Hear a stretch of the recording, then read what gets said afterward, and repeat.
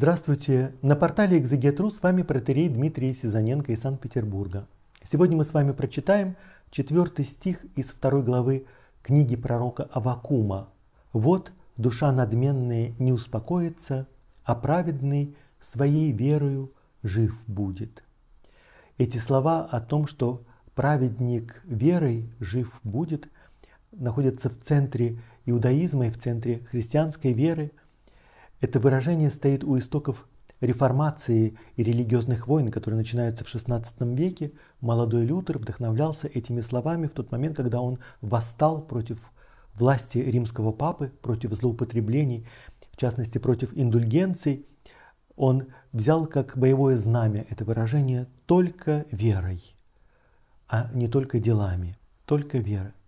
Об этом написано и сказано очень много, и имеет смысл все это повторять. Но всегда имеет смысл по-новому прислушаться к этим словам и понять, что они означают конкретно для тебя самого. И здесь, конечно, ключевым является слово «вера». О вере ведутся бесконечные споры, и люди, которые даже очень долгие годы живут религиозной жизнью, даже получили религиозное образование – иногда остаются без ответа на вопрос, а что же такое вера и в чем она состоит. Э, спутаница возникает в наших умах, в частности от того, что очень часто мы путаем два разных понятия – вера и верование. Верование, которое включает в себя, в частности, и суеверие, и некоторые предрассудки, и некоторые убеждения. Э, действительно, спастись можно только верой. Но о какой же вере идет речь, например, в Евангелии, и что это означает в устах Христа? И уж точно никакие верования никого и никогда не спасают. И для того, чтобы понять э, значение этого слова, нужно обратиться к первоначальному значению этих слов в еврейском языке. В нашем языке слова «вера» и «верность» являются однокоренными. И вот это созвучие и смысловое созвучие прежде всего позволяет нам поближе подойти к первоначальному смыслу еврейского слова «эмуна». И в еврейском языке есть целый ряд однокоренных слов, созвучных слов, которые в нашем языке переводятся совершенно другими словами и с помощью других корней. Например, «ма-амин», что означает «верующий», одновременно означает того, кто опирается, кто может опереться на что-то. И поэтому человек, который оказывает доверие. И нам трудно представить, что слово «верить» э, созвучно по смыслу со словом «опираться». Слово «амен» или «аминь» хорошо нам известное, это то слово, которое служит выражением уверенности. Оно действительно означает некую определенность и уверенность, твердость. Именно поэтому этим словом заканчиваются всегда молитвы, Иногда это пытаются перевести на русский язык и говорят «да будет так». И это типичный пример того, как слово, которое изначально обозначало спокойную, твердую уверенность и утверждение, вдруг превращается в такое благочестивое пожелание. Или иногда в устах некоторых э, легкомысленных людей это слово вообще произносится как некое заклинание. Это является чем-то совершенно противоположным. Итак, вера представляет собой спокойную, твердую уверенность, это некая определенность, и она никак не связана с мыслями и образом мыслей, но это всегда действие. Потому что, когда мы говорим вера, то у нас, конечно, первое, что приходит на ум, это некая конфессия, это вероисповедание, система религиозных убеждений.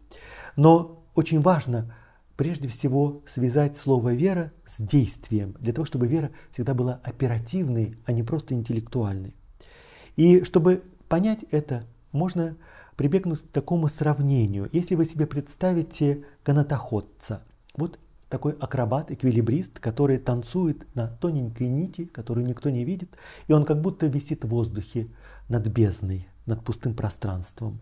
Он продвигается вперед, но для того, чтобы продвигаться вперед, ему нужно отпустить все, за что можно зацепиться. И если мы думаем, что ему помогает перейти по ниточке, танцевать на ней, его уверенность в том, что он такой лихач и у него все получится, то мы ошибаемся. Совсем не это ему помогает э, совершать свои эквилибристические трюки. Ему помогает уверенность совершенно другого рода, без которой невозможно совершить следующий шаг, без которого невозможно удержать равновесие. И поэтому вера верующего человека в чем-то аналогична вот уверенности канатоходца, который способен удержать равновесие, и именно эта вера ему и помогает совершать следующий шаг и не погибнуть. И, к сожалению, в нашем языке это совсем не является очевидным. Почему? Потому что современный человек привыкает к искусству говорить. И мы прекрасно понимаем, что за многими словами ничего не стоит. И поэтому иногда гораздо важнее обладать искусством красиво сказать о чем-то или красиво и убедительно что-то представить, чем искусство э, реально что-то уметь делать своими руками. И поэтому Задумайтесь над тем, что вера горняка, который добывает уголь в своей шахте, она может оказаться гораздо больше, чем вера самого красноречивого богослова, потому что рабочий совершает свой повседневный труд, а богослов повторяет какие-то заученные догматы и чужие истины. Разумеется, невежество не может быть добродетелью, а ум и знание не является никогда пороком, но всегда подстерегает соблазн, что в конце концов остаются только слова, которые не подкрепляются никакими делами. В действительности, э, в контексте вер, верующих людей и в устах пророка, вера и дело – это фактически одно и то же, потому что всегда, когда говорится о делах, нужно понимать, что речь идет не о каких-то добрых делах или показных поступках. Э, всегда имеется в виду совершенно конкретная вещь – творить, исполнять предписания закона, хранить заповеди Божии, хранить Слово Божие, угождать Богу. Именно это имеется в виду как дела. И тогда это ни в коем случае не противоположно верой, и сам по себе этот лозунг «только верой» или «только делами» в действительности не имеет под собой никакой почвы. Итак, самое главное – это не спорить о словах. Гораздо важнее представить себе, в чем состоит твоя вера и что это меняет в твоей жизни. Прежде всего, вера – это твердая уверенность праведника в том, что он на правильном пути. Это верность, точно так же, как это супружеская верность. Это всегда, опять я хочу повторить это слово, оперативная определенность, то есть мысль, которая всегда выражается и воплощается в конкретном действии. Если это останавливается на уровне слов и мыслей, то никакие выкладки, анализы, рассуждения здесь не имеют никакого решающего значения. Умение красиво говорить о вере еще не значит, что ты действительно имеешь веру. Точно так же, как если вы прочитаете все книги о том, как нужно правильно плавать в бассейне и об истории этого спорта – в тот момент, когда вы просто окажетесь в ледяной воде, сами по себе книжки вам не помогут. Если вы не умеете плавать, то знание о нем вам не поможет. Точно так же, как знание о вере, знание о религии, оно совершенно бесплодное и ничего не меняет в жизни до тех пор, пока по-настоящему вас не пробуждается вера, и это не становится вашим деланием, вашей жизнью. И с этим мы сталкиваемся каждый раз, когда заходят споры о религии. Очень часто о религии спорят, как будто речь идет о каком-то образе мышления, о каких-то взглядах на мир. И, конечно, можно сказать, что наука давно все это объяснила, опровергла, и религия как образ мышления действительно является чем-то архаичным, это является пережитком и предрассудками. Если ваша религия, это действительно только лишь ваши мысли – они действительно принадлежат прошлому. Вечной, живой и актуальной религией является то, как мы действуем и как мы ведем себя в этой жизни. И поэтому, когда сегодня говорят о том, что возвращается религиозный фактор, это все достаточно сомнительно, потому что религия по-настоящему никуда не уходила и никуда она не отправлялась в ссылки. Даже если внешние проявления религии преследуются, находятся под запретом, искореняются, самое главное остается. И вот то, что остается, это и есть вера. И уже в Ветхом Завете мы видим, что это совершенно разные вещи. Одно дело конфессионализм, когда религия – это вопрос верований, который связан с языком, с традициями народа, с культурой, с исторической реальностью. Но как только религия становится вопросом веры, она тут же становится всечеловеческой, вселенской и открытой. И, может быть, вы обращали внимание, что иногда верующий христианин гораздо имеет больше общего с верующим мусульманином, чем просто с каким-нибудь пропагандистом веры.